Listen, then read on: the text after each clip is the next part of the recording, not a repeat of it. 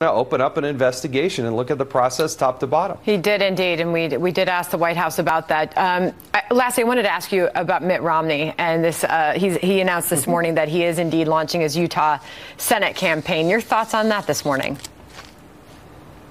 Look, he's uh, one of the most favorite sons uh, uh, of Utah. He's got deep, strong ties to Utah. Attended Brigham Young University, helped save the Olympics.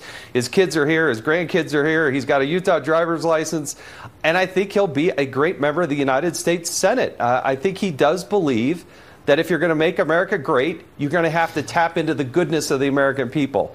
And he says he wants to represent Utah's values. He was a great presidential nominee, and I, I think he'll do pretty darn well on the ballot here says in Utah. he's going to bring those values to Washington. Jason Chaffetz, thanks for coming on this morning. Thanks, Sandra.